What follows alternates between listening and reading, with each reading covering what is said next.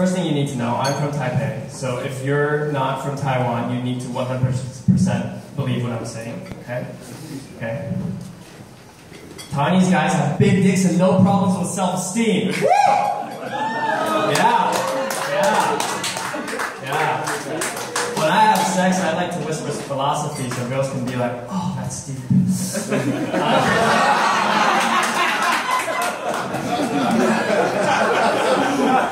now, now that that's out of the way, um, I'd like to teach you a bit about our culture. So if you've been here for a while, about 15 days or so, you can see people burning shit on the road. That's because they think that if we burn dollars on earth, our ancestors can receive it in heaven. So the people who really hated their parents got together and built incinerators. And just whatever trash you have, burn it to your ancestors. Arsonists are just trying to put a roof over their families. So it's raining again. It's, it's raining every day. The, the, chances of finding yourself in the rain in Taipei are, are, are like the chances of finding tourists in Amsterdam. They're pretty fucking high. High? Um, um, so you can probably tell I go to the gym. Okay, fuck you. Because in the beginning, when I said I have a big dick, you're all like, ha ha ha ha, and I say I go to the gym, you're like, oh, seems fair. The thing is, my gym is on the third floor, right? And on my way to the gym, you can see these motivational posters on the staircases, and they're all like, get sexy, like, be like us, followed by no judgment. no judgment. That's a bodybuilder equivalent of, I have a lot of black friends. Which also happens to be the Christian equivalent of God loves gay people too.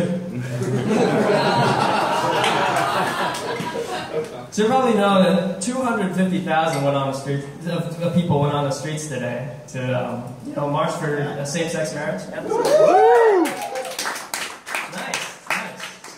So once again, the Christians are at war with the LGBTIQA community. Swear to God, you don't give these people same-sex marriage, they will run out of letters. Seven down, 19 to go. Soon they'll be introducing the Greek alphabet. I want to be an oh my god. That's what people say when they see my beta delta. I think there's nothing wrong with being gay, you know? I think, in fact, the very earliest human beings were aroused by the same sex. And that's why scientists gave them the name Homo erectus. oh, that joke actually worked. I was afraid, because that joke usually doesn't work with Americans. Americans are afraid if they learn Latin, they'll become Latin Americans.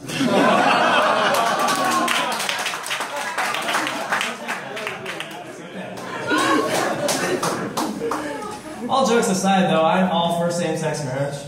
I believe that gay people have the same right as anyone else to lose faith in love. you know why the word gay used to mean happy? No marriage. Like, no marriage. when the Christians came along, they saw gay people so happy without marriage. And they thought to themselves, know, when J.K. Rowling was coming up with the character Professor Snape, she had Christians in her mind. They're both secretly protecting your happiness while acting like complete dicks. so speaking of other useless relics of the past, the British royal family. Do You have any Brits in the crowd tonight? Brits? Anyone in the UK? Alright. Why is that still a thing? Right? I think I think the British royal family is trying to preserve Christianity. Because you don't know this, but when Prince William and Princess Kate have sex, they are saying the Lord's Prayer. Yeah, Princess Kate would be like, oh, oh, oh, your kingdom come. to which the prince would reciprocate, your will be done. That's all I have to say. Thank you guys.